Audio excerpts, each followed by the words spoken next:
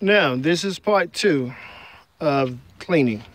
Basically, I think the guy that was recording probably turned my phone sideways, and I'm pretty sure it's not going to come out right. But let me go over a few things. the first thing I did was I took all my electrical areas and I used cheap food wrap, saran wrap.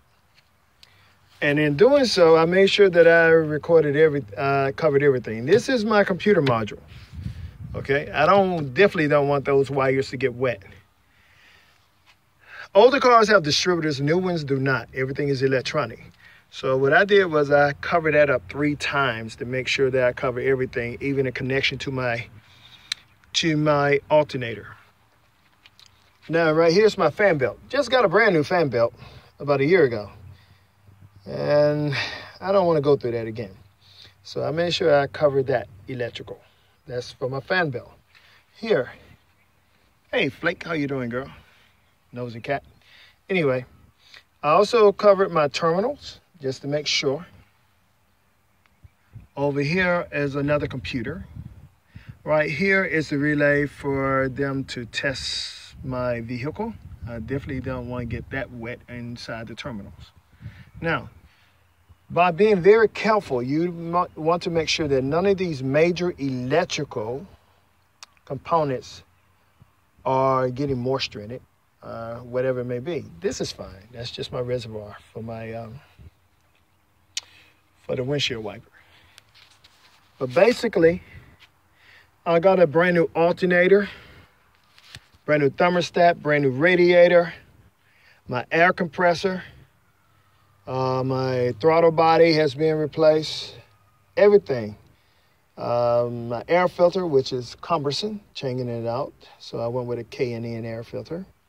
Even though my mechanic told me not to, I still want a little. So everything's been replaced. Now it's time to clean up all the gunk that was on here. And in doing so, you want to make sure that these connectors later on, when you unwrap them, you can clean those individually that takes a little time. But I want to make sure I get all the oil off. I had oil on my dipsticks. I had on my transmission. It was oil over here. That's a brand new, I just got an oil change. That's a brand new Fram air filter.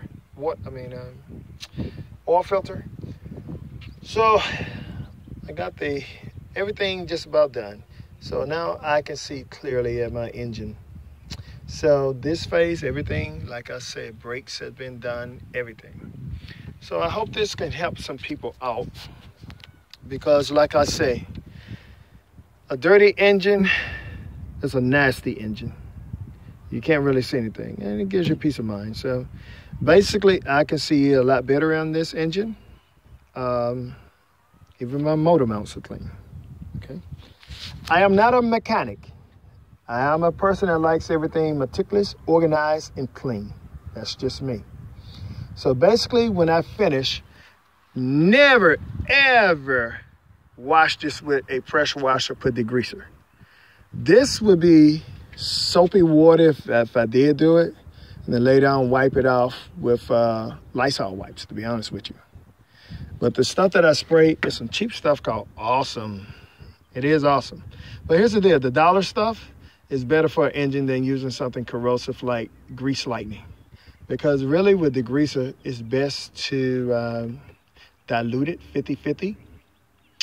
And then if you have a problem cleaning like this one little area, I loosen up the grime. I would go back over that one section. It's no use of me going back doing the whole engine. So my next step would be phase three. Phase three would be to come back over it and air dry it with a blower. And I have several different blowers. I have commercial ones, but I want something low power. So what we're gonna do is, and something that's not cumbersome, I'm going to use my Kirby vacuum and uh, use it as a blower to get rid of all of the water and moisture that's on the engine, you see? So I will go over this.